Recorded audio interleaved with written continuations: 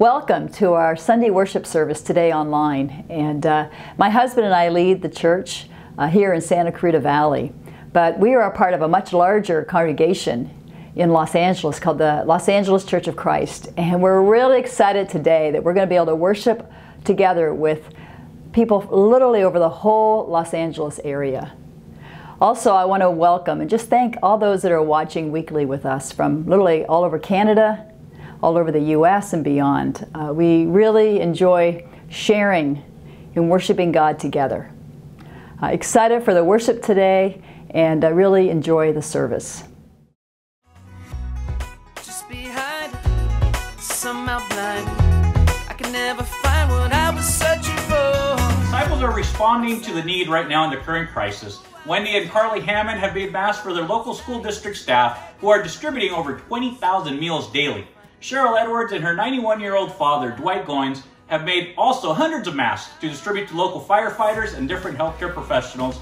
And our IE Hope chapter, along with Emma Pineda, have made 5,000 masks for local hospitals. God is also working powerfully by drawing people near to Him. Veronica Martinez was baptized on Good Friday, and Jasmine Roscon was restored on Easter Sunday. God is so good. In the midst of this pandemic, our best use is baptisms. Just a few days before social distancing orders began, Maria Huerta, who works for the San Gabriel School District, was baptized on March 10th. On March 23rd, Denny Bethencourt completed his studies virtually and was baptized by his recently baptized roommate. On March 29th, Paul Trevino was baptized in our Glendale Young Professionals Ministry. His girlfriend at the time is now also studying and wants to be baptized. On March 4th, Cindy Rodriguez, wife of New Christian Jose Miranda, was baptized. Then, this past weekend, Aida Ruiz, mother of New Christian Joshua Ruiz from the Spanish Millennials Ministry, was baptized. And Carly Rodriguez, daughter of Martina and Sandra Rodriguez, was baptized in our teen ministry.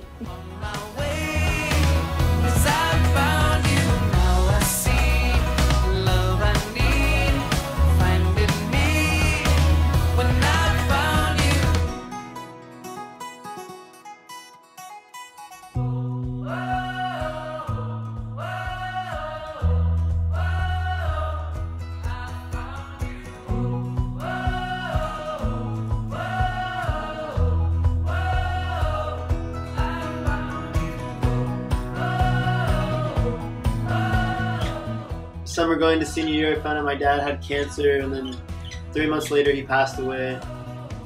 At that point, I like realized what what was there, and I realized I wasn't living my life the way I should. And, and what is your good confession? My good confession is that Jesus is Lord.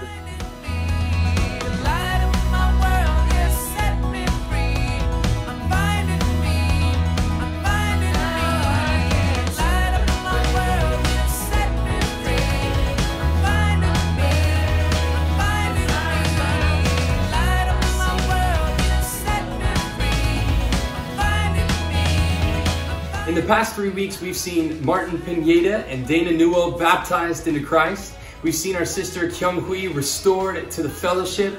And currently we have over 40 people studying the Bible across all of our ministries in Orange County. It's been amazing to see various small groups and small business owners coming together to make encouragement packages and masks for local medical professionals and to highlight a group of uh, single women in our congregation, known affectionately in Orange County as the WOW Women, praying fervently for all of the needs inside and outside of our congregation. I'm excited to share with you how in the last few weeks, God's Spirit has moved powerfully and added nine new brothers and sisters into our fellowship. Chris Spencer, Diego Vargas, Ethan and Hayden Collarbaum, Michelle Lim, Gustavo Duarte, Diane Seri, Haley Gonyo, and Luke Blakely. We're excited to see what God's Spirit continues to do. We are so proud of the singles ministry in our region. They are developing incredible momentum with their faith. They're hosting weekly Zoom prayer calls. They're meeting after every lesson throughout the week. And currently they have 17 Bible studies going on. And one of them recently was baptized during the quarantine. That's Shamika Enos. And now she is one of 30 that are attending the Young Christians class every Friday evening. In our campus ministry, they've been hosting Zoom Bible talks over the last three weeks. And out of that, two women are currently studying the Bible. We've been very fortunate also to open our temporary food bank that we've been able to serve people in need. Finally, we have seen two couples get married. Anthony and Kiana Day and Angel and Kristen Vasquez. Wanted to share with you about a woman named Madison who found us on Google. She found Jesus, she got baptized, then she shared her faith with a woman named Tina who worked at Starbucks. Madison then moved to Sacramento, but Tina months later decided she needed to find God. She came to church and she got baptized last Sunday. Just said, God, I want to thank you so much for this amazing and beautiful journey that you have taken me on. Because all my life there's been a part of me missing. And now I know all along it was you. I finally listened. Finally, after all these years, I was able to hear you. Thank you for never giving up on me. You're amazing and loving, and I just feel so lucky. And I am yours. In your son Jesus' name, amen. Yeah!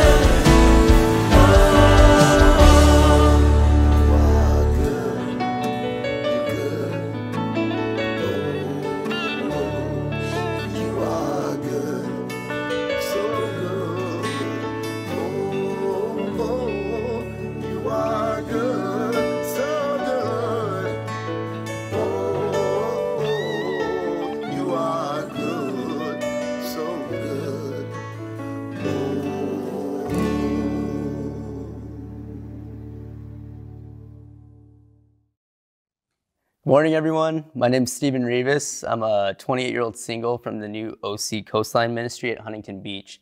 Just wanted to take this moment to say hi to my Coastline family and to thank Pastor Steve for asking me to share my testimony, as this is my first time sharing.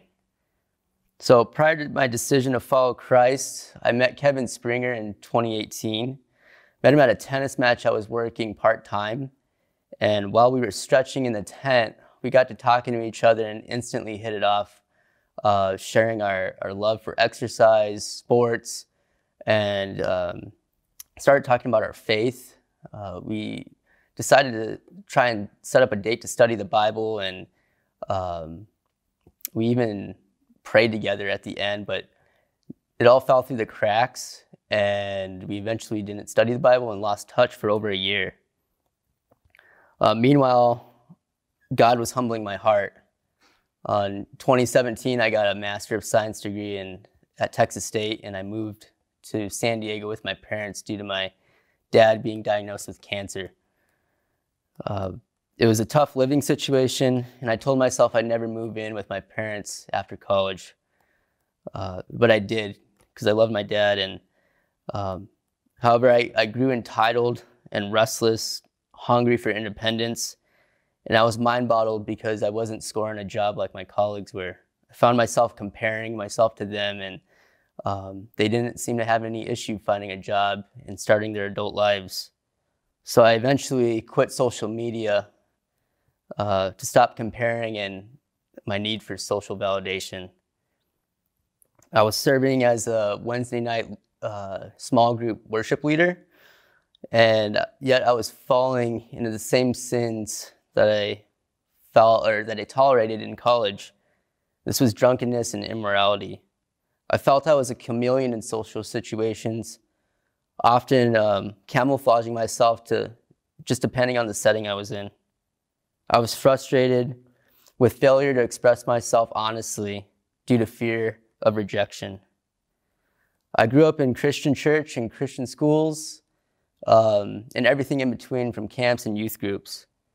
But I always felt I was too worldly for the church and too Christian for the world. I drifted from church attendance throughout college with a mindset to turn my life over to God after. Yet I couldn't escape my sinful nature after college. I lived in fear for every invitation to go out and party with coworkers and friends. It was a nightmare because in the past I, have suffered from a DUI and other arrests for public intoxication. Probation in the law probation with the law and my work license was now on the line now. One thing would often lead to another. Uh, often when I felt lonely, I, need, I, wanted to need to socialize, and uh, that meant binge drinking for me, and which would lead to lust and immorality. Uh, it was filled with impure thoughts and shame. On the outside, I portrayed my life like nothing was wrong, but on the inside, I was shamefully depressed of who I was. When I moved to Orange County, um, I was searching for a church home. Yet, uh, on my first week during my job, I was introducing myself to the coaches. And when I stepped foot on the tennis uh, court, I could see this really tall guy in a really bright neon suit, and I, I, could, I just felt like I recognized him. And as I got closer, it was Kevin Springer after a year of no contact and just not talking at all. We couldn't believe it. Uh, I took it as my sign of confirmation that God had something planned and destined for my life. So, and I, and I was eager to find out what that was. I started studying like I originally planned with him. I learned a lot about myself and more than ever about God. I learned that we must deny ourselves, pick up our cross daily, and follow him. I began to have a healthy fear of God, started to open up about my sinful nature, and I learned that godly sorrow leads to repentance, which leads to salvation and has no regret. During one study, I was brokenhearted on the way I was living, the things I wanted to change that I couldn't, and the people I hurt along the way. I learned that when we participate in baptism, we participate in the death, burial, and resurrection uh, of Jesus for the forgiveness of our sins.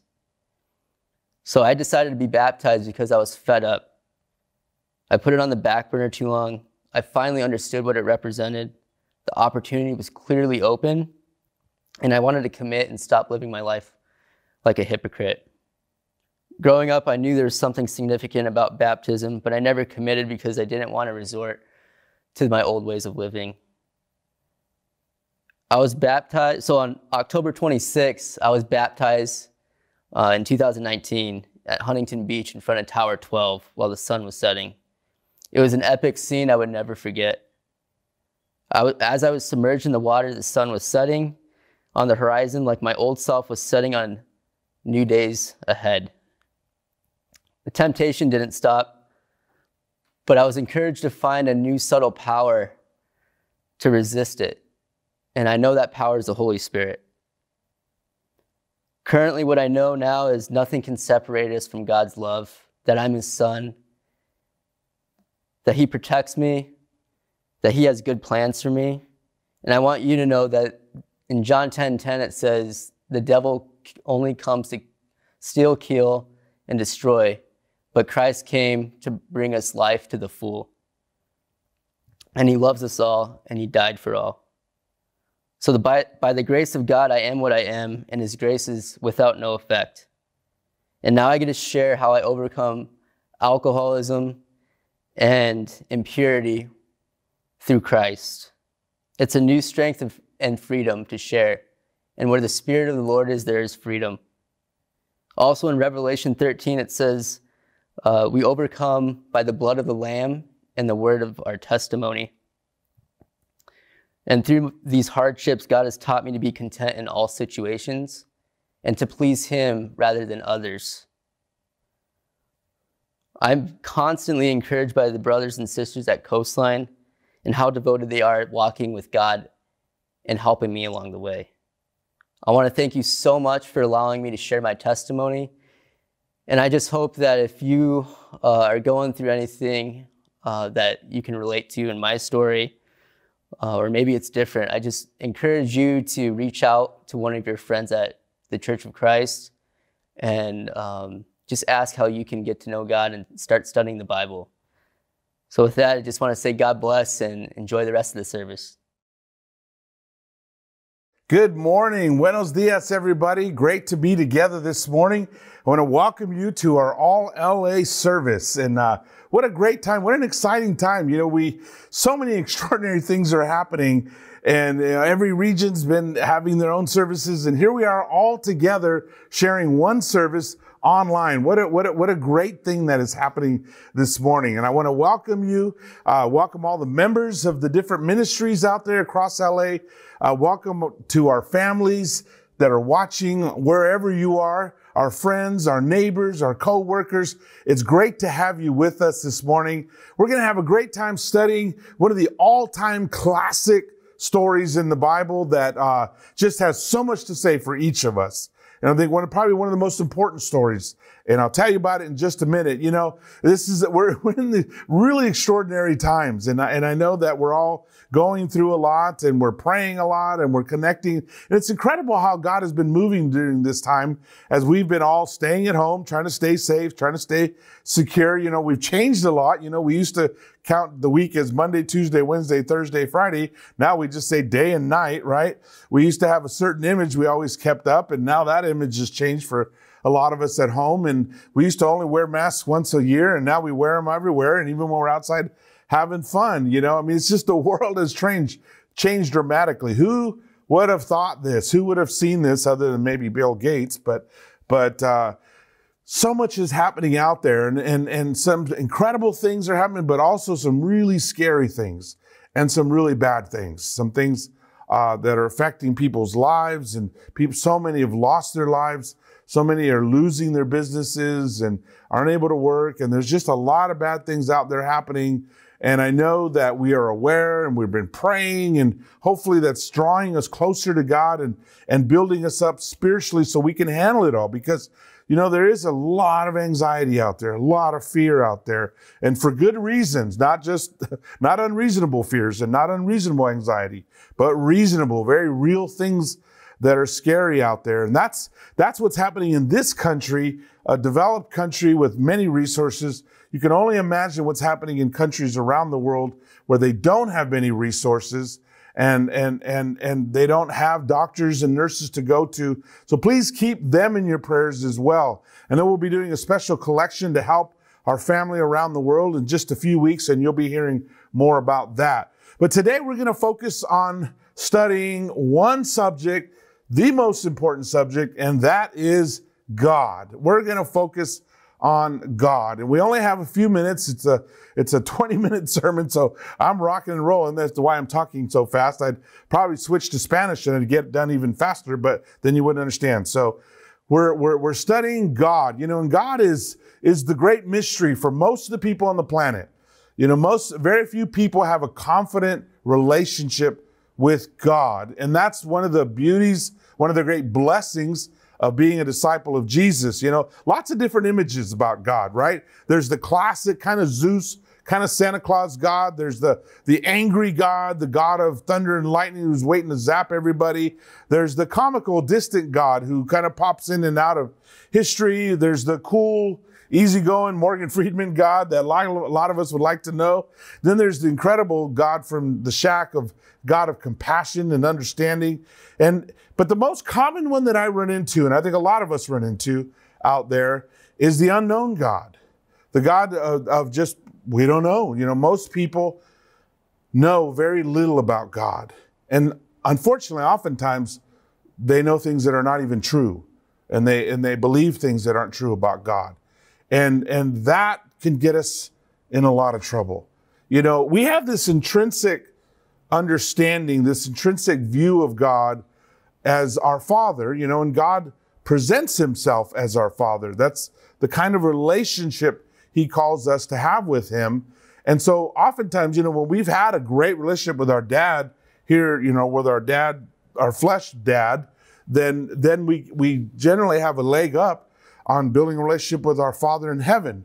However, it goes the other way too. When we've had a bad relationship with our Father here, our parents here, we can also have a bad view of God in, in heaven, or if we have no relationship. And there are many, unfortunately, many young men that that don't meet their dads until they're adults. And so God is just tends to be a big mystery, and it's a big issue. You can see it. You, you, it's it's such a big issue on so many levels, from education, psychology, confidence, uh, emotional well-being, and even Hollywood picks it up. I, I I couldn't help noticing the Avengers and the and and the Justice League. Almost all of them have dad issues and things going on with their dads, and it's such an important role. And God presents Himself to us as a loving father, or, or, or specifically today, we're reading Luke 15, the classic story called most of the time as the prodigal son, but really should be called the compassionate father, because that's really what the story's about.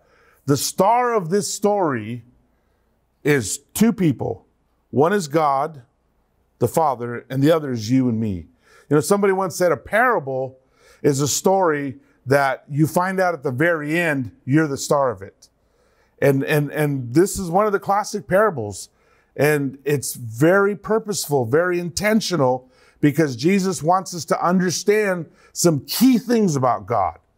Things that we generally don't understand or we doubt or we don't believe or we don't accept because of our own issues or because of damage we've had in this life. We, we don't just absorb that and we need to. And, and, and, you know, I just, I just celebrated my 38th anniversary as a Christian. 38 years ago, I was baptized. And it has been such an incredible journey getting to know God, just getting to know Him and be secure in Him. And I've learned so much. And, and, and this is, there, there's nothing like a great relationship with God. There's also nothing so devastating as having the wrong image of God or having the wrong understanding. And that's how this story ends with Luke chapter 15, verses 1 and 2. It says, Now the tax collectors and sinners were all gathering around to hear Jesus. But the Pharisees and the teachers of the law muttered, This man welcomes sinners and eats with them. You see, they had a very different understanding of God. And their understanding of God, God is the holy, righteous God. He's more like the one that was angry and waiting to zap people. And sinners were the first ones he wants to zap, which would be really bad news for you and I. He, he, he they, their God, their understanding of God is he has no patience. You better get it right and you better do it right or you're in trouble. Now, the truth is, truth be known, nobody does everything right. And the Bible even tells us that, that nobody's going to go to heaven because they did everything right. And nobody's going to do so many good deeds because they did everything right. We're all going to have to rely on God's grace and mercy and compassion to make it to heaven. And thankfully, God is a God of grace, mercy, and compassion. He's the God who loves. I remember I was speaking to a young man who, who was trying to come back to church. He, he showed up at church and he told me he had gone a couple of years ago to a church and he walked in and it was a church where he'd grown up. They knew him really well. They knew him in his, you know, when he went off into the world and messed up his life and got involved in drugs and all this stuff and he got involved in gangs. And, and when he walked in, everybody was shocked. And the preacher went up to him and said, What are you doing here? And he was horrified. And he turned around and he walked out. That's that God that none of us, none of us need to believe. That is not the God. That is not our God. That's not the way he is. It's our worst nightmare. Our worst nightmare is to be rejected, is to be thrown out. And of all people, by the Father, by God. And we so desperately need to understand how much God loves us. It's so important that we get it, that we accept it, that we, that we let it fill our hearts and give us the confidence and the power we need to live through this life, to live life as Jesus intended. Zoe, life to the full. You cannot do that without God. I remember, I figured out as a young Christian, wrote it down in my journal. You cannot be godly without God. We really have to have a real relationship with Him. We have to get to know Him better and better. This chapter, it's really three stories, three stories that tell us what makes God happy, what fills God's heart with joy. At the beginning is the story of a lost sheep. And that story tells us how God will climb mountains, will go into ravines, will go high and low to find you. You can run, but you cannot hide. God is always calling you home. He's always reaching out to find you. And nothing makes him happier than to be with you and you to be with him. The second story is the lost coin. An accident that happens when we're not paying attention, we get lost. We drift. We, we, we, we, we get what's called mission drift. We, we're, we're suddenly not where we thought we were. And we're not living the life we thought we were living. When we get honest, we realize we're far from the Father. And it's a woman who's high and low, tears her house apart to find that coin. And then, like the other one says, she calls her friends and neighbors together and says, Rejoice with me. Because how great it is, how wonderful it is when she found her coin. And that's you and me, the lost coin. And then the last one, of course, is the lost son. And he says at the end of that one, let's have a feast and let's celebrate. This is when God just wants to have a party. He, he wants to rejoice. He wants, he's so happy. I mean, there's not many times that we're that happy where we're shouting, where we're saying, let's celebrate.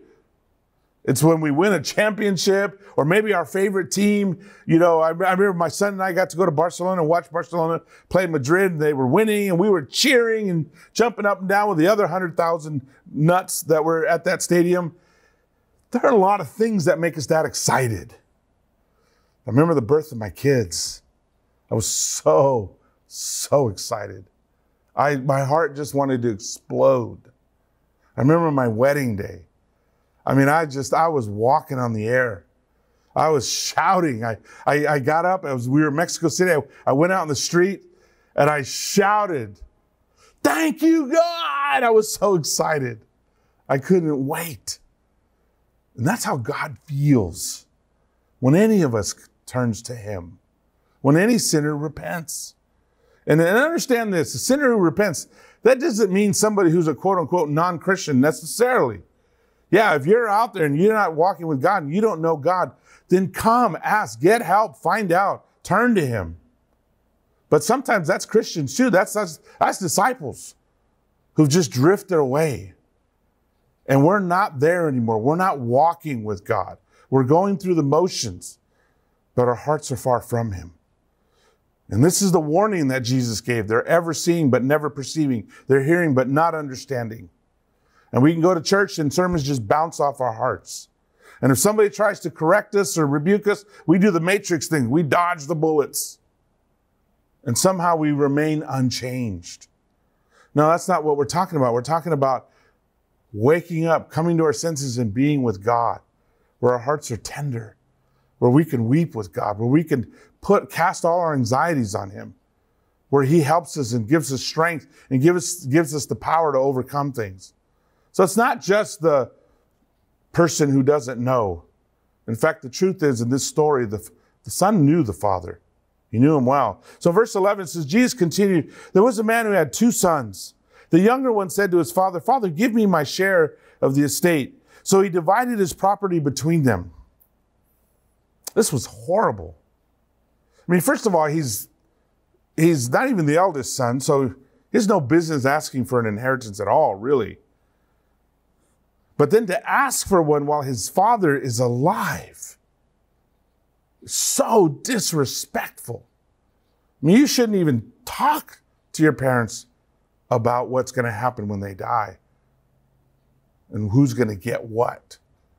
And here he is bringing it to his dad, asking for his inheritance. And I'm sure the Pharisees and tax collectors are listening to this thinking, what a complete evil loser. Jesus is setting him up. Yeah, this guy's out there. Really bad. And in verse 13, 14 says, Not long after that, the younger son got together all he had and he set off for a distant country and there squandered his wealth in wild living. I mean, he just did a complete idiotic thing. Totally wasted, blew everything. Went to another country so people wouldn't even know who he was. And after that, he spent everything. There was a severe famine in that land, in the whole country, and he began to be in need. There's nothing like hunger to humble a man. There's nothing like desperation. And as anybody could have predicted, when you have money, you got lots of friends. And when you lose that money, you find out whether any of them are not are, are real friends. And they weren't. And he's alone and he's desperate. So desperate, since he went and hired himself out to a citizen of that country who sent him to feed to the fields to feed pigs. And he longed to fill his stomach with the pods that the pigs were eating, but no one gave him anything. I mean, you got to remember, this is a Jewish young man. And he's out there feeding pigs. Pigs are unclean. You ain't supposed to be touching them, let alone feeding them. And it's so desperate that he wants to eat the pods that he's feeding them. And pods cannot be eaten by humans. You get sick and die. But that's how desperate he is. He hit rock bottom. And he says, when he came to his senses, verse 17, he said, How many of my father's hired servants have food to spare? And here I am starving to death. I will set out and go back to my father and say to him, He finally comes to his senses. You know, when working with chemical recovery, we used to always have the saying that they haven't hit rock bottom yet. It isn't until a person hits rock bottom that they turn. And you hope that rock bottom isn't so far down that they've lost their job or they've lost their marriage or they've lost their family. You hope that rock bottom is somewhere before that point. But you know that they will not change and they will not take change serious. And they will not turn to God. They will not come to their senses until they reach that point. He finally reached that point. For him, it was hunger. When he was so desperate, he was doing things that he never would have imagined himself doing. And he was hungry. And he finally came to his senses. And the question is always, how long does it take us to come to our senses? Somebody once asked me, why is it that you Christians always find God when you're down and out. So I just turned the question back to him. Why do you think that is? He thought about it. He said, Because we're prideful and stubborn. I said, Yep. We tell ourselves, I can handle this. I can control this. I can overcome this addiction. Or I can, I can fix my marriage. Or I can fix my family. Or I can take control. Or I can fix this. Or I can do whatever until finally it hurts too much and we come to our senses. Until too much damage is done. Or till too much life has gone by and it didn't go the way we wanted it to. And too many dreams are shattered or fall apart. And we finally come to our senses and say, you know, maybe I do need God. Maybe I ought to read the Bible. Maybe I ought to get close to God. Or maybe I ought to stop being distant. Or maybe I ought to stop being half hearted at church. Or maybe I ought to stop following Jesus from a distance and get up close and personal again. Because that's when the magic happened. That's when miracles happened. That's when all the incredible stories were in my life and not just other people's lives. And so he turns to his father and he's ready to turn himself in. He says, Father, I have sinned against heaven and against you. I am no longer worthy to be called your son. Make me like one of your hired servants. He wasn't pretending anymore. There wasn't an ounce of pride left. He was completely humble. There's a Hebrew word that's really important here. It's shuv. It's a concept of turning around and facing God and just being real. God, I need you. I can't do this. I'm, I'm not pretending anymore. I'm not covering up my sin. I'm not acting like I know it all.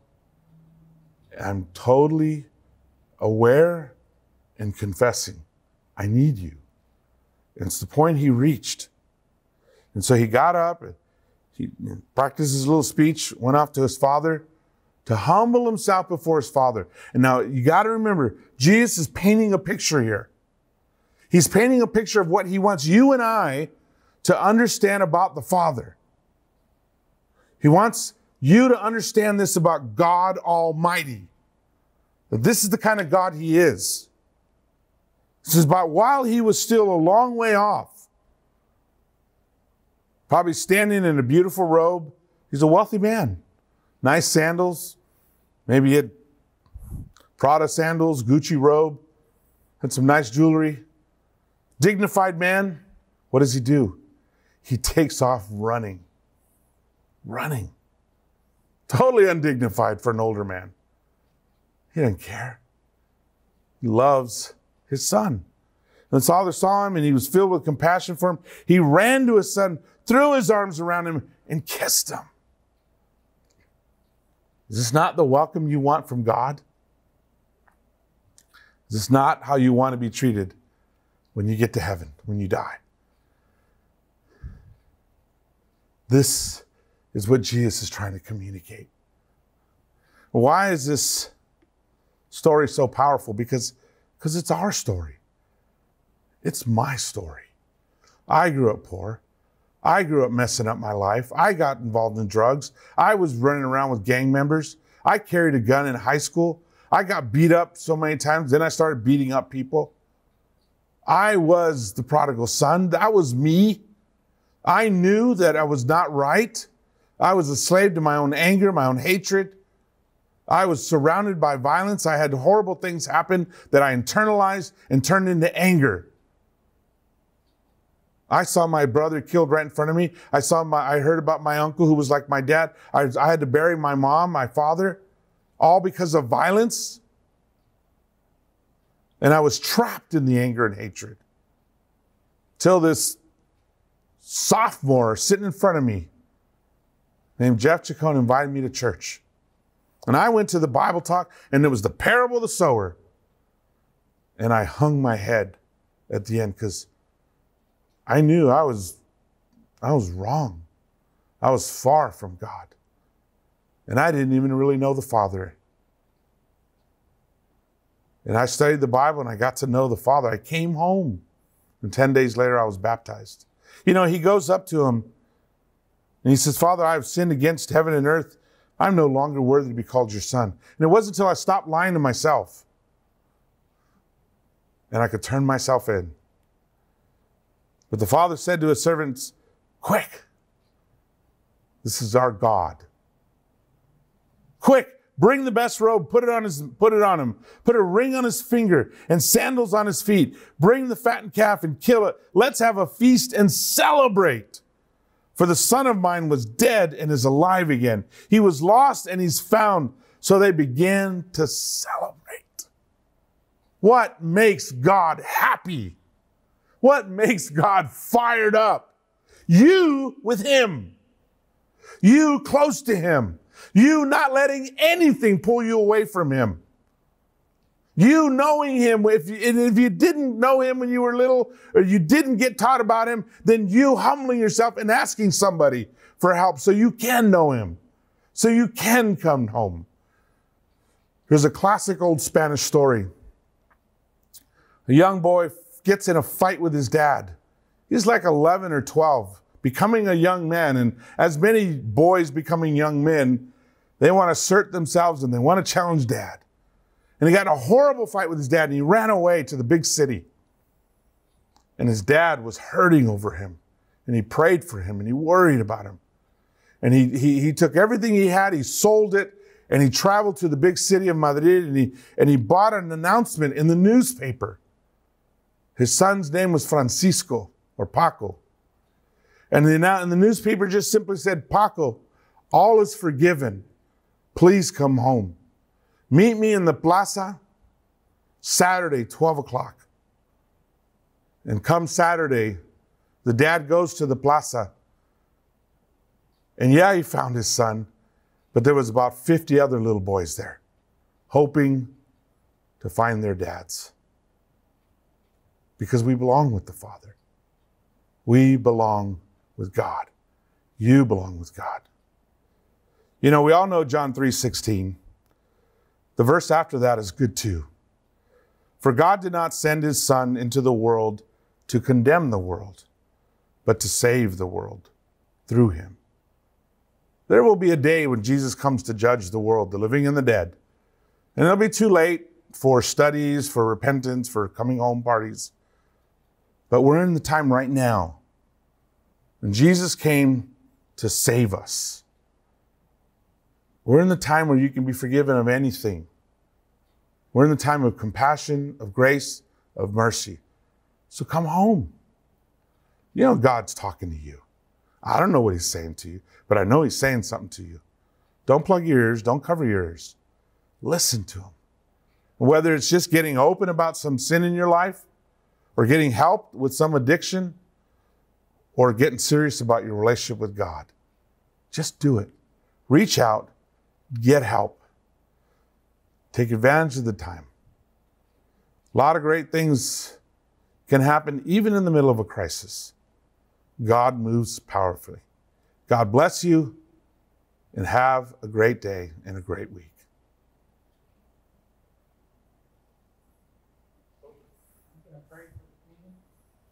Let's pray as we get ready to take communion. Our Father God, we are so grateful for your welcome. We're so grateful for accepting us all into your family and being our dad. And we know, Father, that even this story doesn't cover everything because you also went to the cross for us. You also paid for our ticket home. You also paid to remove the barrier between us and you so that we can be with you. You shed your blood so there'd be nothing between us.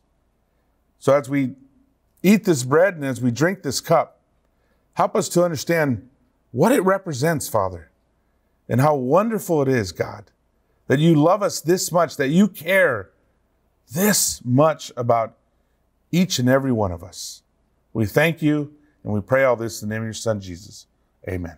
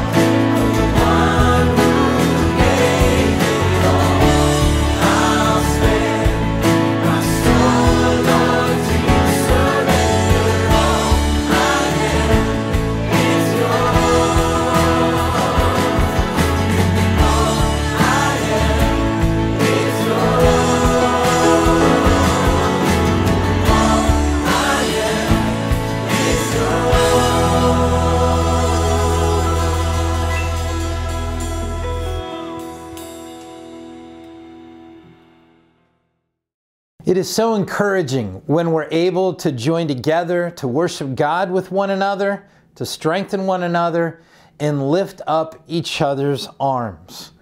One of the great joys we have in being connected all throughout Southern California is that strength and that power that come together with one another.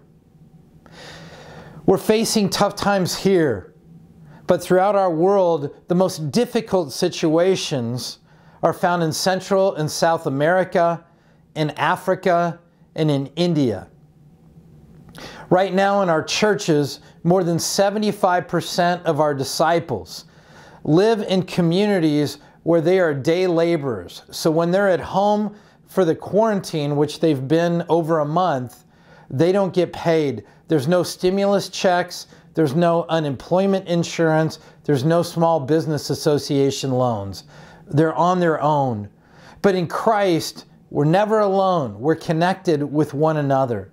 And that's why we're reminded of what Paul said to the Corinthians in 2 Corinthians 8. When the disciples in Jerusalem were facing extreme hardship because of a famine that was going on there, and Paul encouraged the church in Corinth to give generously, to go beyond their needs, to be able to help God's people have their basic necessities met. The Bible records that they gave beyond their ability.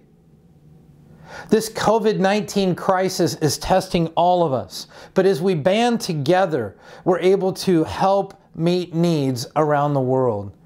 I'm excited to let you know about a partnership we have with Hope Worldwide.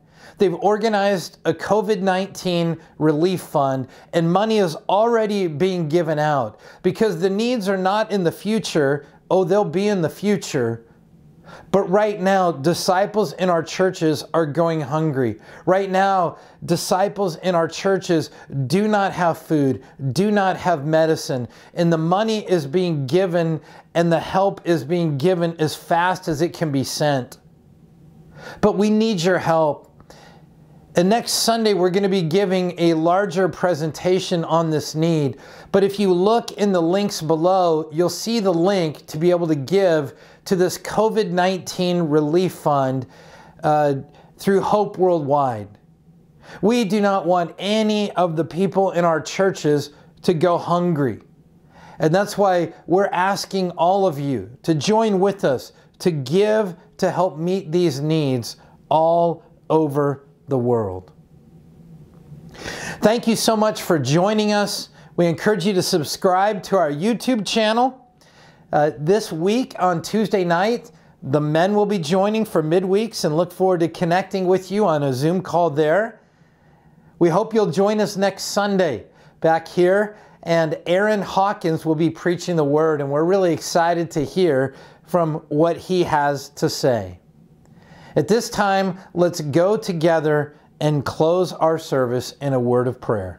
Let's pray. Our Father and great God, you know all things. You know how we're made. And Father, you connect with us. You share our pain and our sorrow when we're hurting. Father, we ask for you to be with those who are hurting in a special way. We ask for you to protect us from the virus. We ask uh, you protect uh, the innocent, those people all over the world and those on the front lines, those first responders, the doctors, the nurses that are giving themselves that extra help. Father, I pray that you help us all to give with generous hearts to support this relief effort so no disciple goes hungry. Father, guide us and, and uh, connect with us through this time. Help us to find strength in you and strength in one another as we meet needs around us in our local community, but also in the world. Father, we praise you for the God that you are, and we thank you for our churches here in Southern California, but around the world. It truly is a privilege to be a part of your family. Guide us and direct us as we partner with you. Help us to have an amazing week in your service. We love you. We pray this in Jesus' name. Amen. Thank you.